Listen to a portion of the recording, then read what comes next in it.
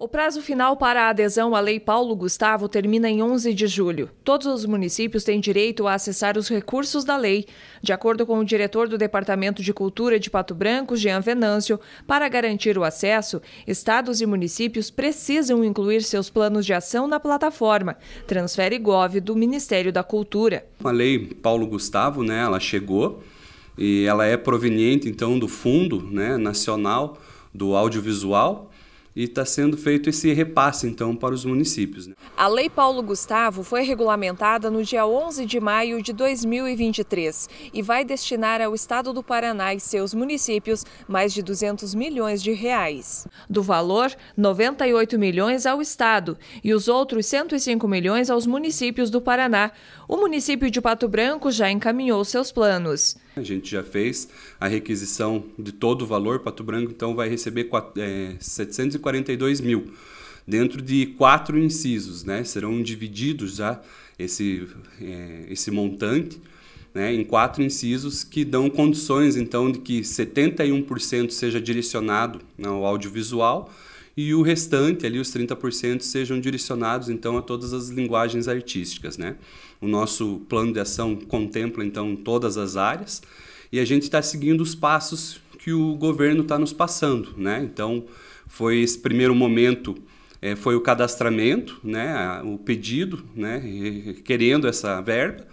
E agora a gente está no momento da espera para assinar o termo, que é, vence dia 11, semana que vem a gente assinando o termo, a gente passa, passa para uma próxima fase, que é as oitivas, né? De estruturar de que maneira que esse dinheiro vai ser gasto aqui com os nossos agentes culturais, com as pessoas que trabalham com o audiovisual e com os artistas também. Segundo o Jean, alguns municípios do Sudoeste não incluíram seus planos de ação na plataforma Transfere Gov do Ministério da Cultura para receber os recursos financeiros da Lei Paulo Gustavo. Hoje à tarde, haverá uma reunião de orientação para que os gestores possam auxiliar quem precisa encaminhar suas propostas. O governo entende que para você acessar o recurso, né, você tem que estar de acordo com o plano municipal de cultura, plano estadual e o plano federativo, né? Então é, é, bem burocrático, né? A maioria dos nossos municípios aqui eles não estão estruturados ainda é, com um departamento técnico de cultura ou uma própria secretaria de cultura, né? E aqueles que têm mais dificuldade, no caso, né, em, em, em acessar, no caso, é, toda essa, essa parte burocrática, acabam ficando de fora. Né? A gente ainda tem vários municípios menores que não pediram ainda, não, não fizeram o requerimento dessa, dessa verba, e o governo está montando um, um, plano de ação aí, né, para que os municípios maiores que já conseguiram fazer, que já estão é, esperando, é, possam auxiliá-los né, nessa, nessas questões burocráticas aí de acesso a essa verba. O dia D será na quarta-feira, 5 de julho, nas cidades de Cascavel, Guarapuava, Ponta Grossa, Londrina, Maringá, Toledo e Foz do Iguaçu. Gestores e técnicos municipais de cultura das prefeituras próximas podem ir até o local indicado para obter a mentoria. Mais informações no endereço an.pr.gov.br.